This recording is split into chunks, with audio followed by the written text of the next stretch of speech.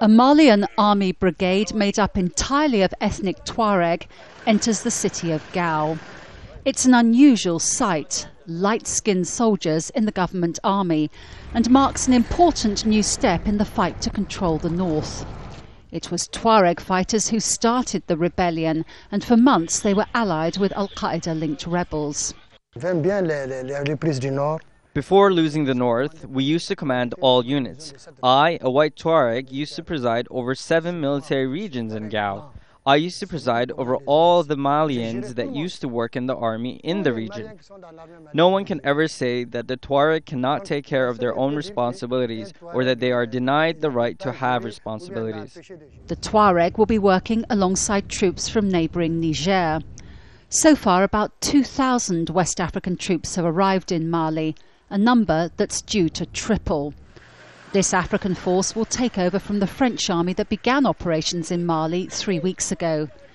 Its mission will be to bring the north back under central government control. With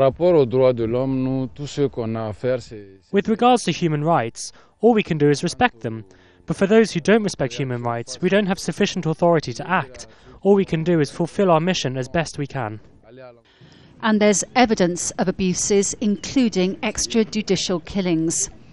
These bodies were found down a well in the central town of Sevare. Human rights groups say there are allegations that the Malian army has carried out summary executions of people accused of being rebels. We sent a letter to the Defence Minister and asked him to launch an independent, impartial inquiry regarding the death of those four people. On Saturday, the French President Francois Hollande is coming to Mali. He wants to congratulate French troops on what he sees as a successful mission. But that mission is far from complete. Retaking towns is one thing. Holding on to them over the long term and preventing the rebels from coming back will require an ongoing commitment. Jacky Rowland, Al Jazeera, Timbuktu.